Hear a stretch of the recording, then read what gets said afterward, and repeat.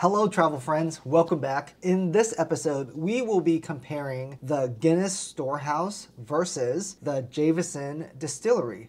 For this episode, we will be comparing the basic tours, and at the time of this recording, both of them cost 26 euros. Both places do have multiple experiences that you can purchase, mm-hmm. so you can like add on stuff, but we're just gonna compare the two basic tours. So let's get started with the Guinness tour. I am team Guinness Storehouse. I have been three or four times now, and it is just iconic. It does take a little more time. I believe it's about 90 minutes for to go through the tour, and then you end with a pint on the rooftop. When you go through on this self guided tour, you are going to learn all about the history of Guinness, how it's made, and then also just the details of its 250 plus year existence. Back in the day, Arthur Guinness created Guinness and he signed a 9,000 year lease. So when you're going through this tour, I think what's really cool about it is just it is a production. You're going up escalators, you're learning about the specific water and why water is so important for the brewing of their beer, the hops, every single process, and each one feels so immersive and interactive. And then you also get to get a really good look at their marketing. I think that was my favorite area. They have some really hilarious marketing. And so you can go in and you can actually take photos with these giant Guinness figurines. After that, you'll then go in and do your standard tasting. They really walk you through the tasting, which is really fun. And then you'll end the tour, like I mentioned earlier, going up to the gravity bar. The gravity bar is really cool. It's got a 360 degree view of Dublin. And you'll also then get your included Guinness pint. If you don't drink alcohol, they also have Guinness 0.0. Then you can chill at the top while you're sipping your Guinness and look at Dublin.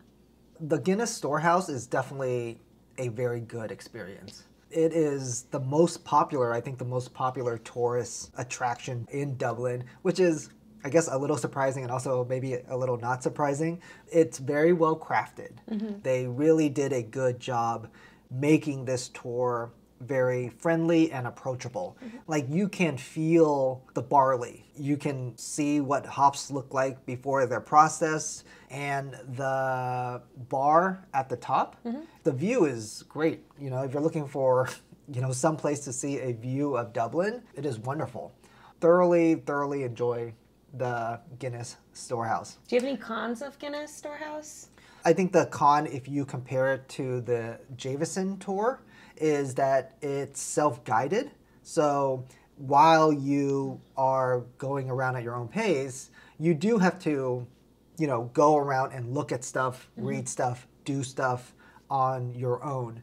And also, the 90 minute estimate is, I would say that that's a little deceiving. I don't know if the whole the tour itself is 90 minutes. I think it's probably a little bit shorter and then you can go and relax at the bar at the top. And I think that that might be included in this 90 minutes because I, I don't recall us staying in the tour for that long. So I am team Jameson and I, I, really enjoyed the Jameson distillery experience. The main thing I really like is that it is guided. Mm-hmm. So you can't go in there and just mosey around by yourself. You do have someone guiding you.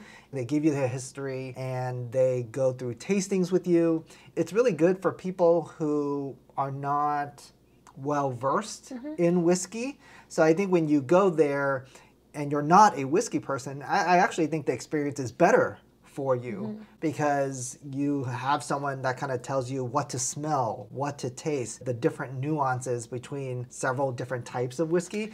I really enjoyed that personal touch of always having a guide there. For me, that was very rewarding mm-hmm. and a really high value.